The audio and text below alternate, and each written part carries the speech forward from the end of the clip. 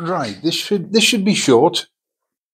Um, the new Sonoff uh, SNZB-02D temperature sensor. Let's have a look. Quick clean up.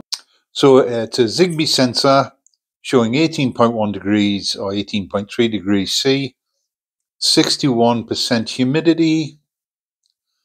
Not sure what that frost sensor's for because 18 degrees isn't that cold. Anyway, it's a good device, works a treat. I've commented in the blog that the angle of viewing isn't quite as good as it could be, but it's okay.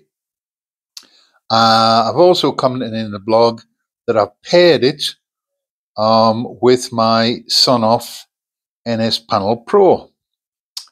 Um, made it a temperature sensor for the thermostat option in the NS Panel Pro. And for some reason, it's showing the temperature but not the humidity.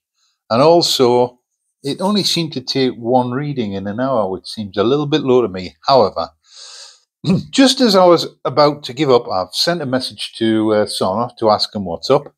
I note firmware updating. A new installation package is found in the NS Panel Pro. So let's kind of impromptu wise do the install.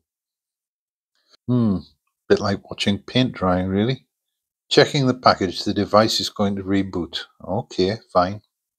This new temperature sensor went straight in, and although, as I said there, the humidity is showing a zero in the Sonoff, um, in the NS Panel Pro, it's not actually doing anything with humidity anyway, but it would be better, in my view, if it didn't show humidity at all if it isn't going to use it.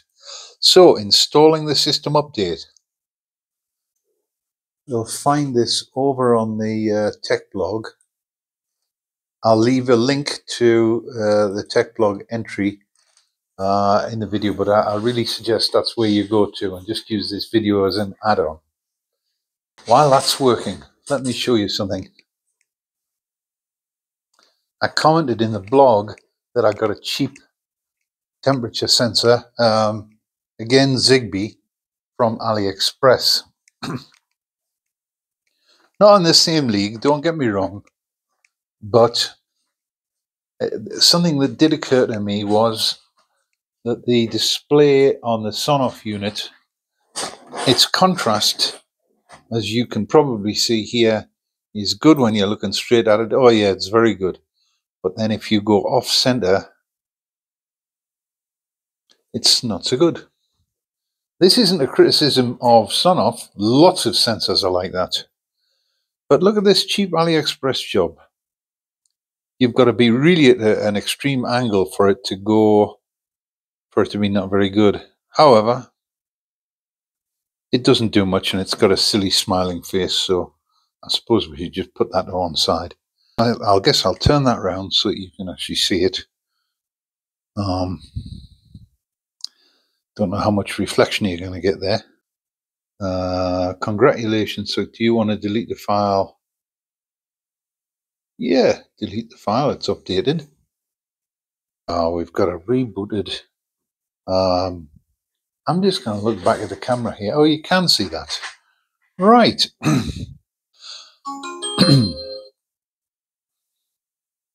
this cast, I still don't know what that means. It's a lot smaller than it was before the last upgrade. Right, so camera. Aha! Aha! They've fixed it. There's my stat that I added to the NS panel. 18 degrees, 60% humidity. Sure enough, I just griped about that in the blog. So I guess I've got to redo the blog. That looks lovely. Enabled. Now let me just um, let me just go. Oh, yeah, in the app, which I can't show you because it's on the phone that's recording this video, you set up the uh, which sensor you want to use for your thermostat and which output device. Uh, and I chose this new temperature sensor. And sure enough, there it is. Anyway, I'll go back now. Uh, back out of this. And let's have a look for the temperature and humidity sensor. There it is there. If I click on that, aha, now it's showing temperature and humidity and it's showing the history. But this is the same problem I had half an hour ago. Uh, it's been, I've been recording maybe an hour altogether of uh, temperature and humidity.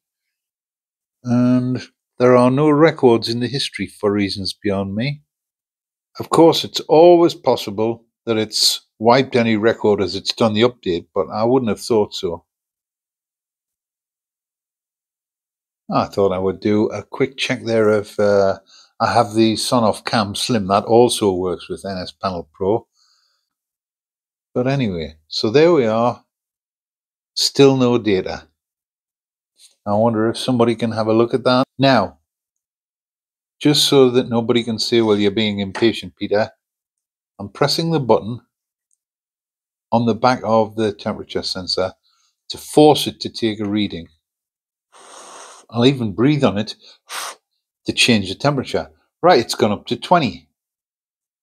Now it will obviously read that in time, but I can force the issue by pressing reset quickly.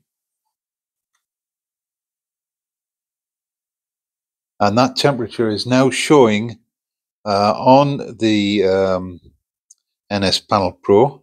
So it knows it was 18, it knows it's 20, it knows it's now going back down to 19.6. But am I missing something here? No, there's still no temperature um, history there. I think I would like to see that building up as time goes on. Anyway, there you go. I'll update the blog. This was a worthwhile video.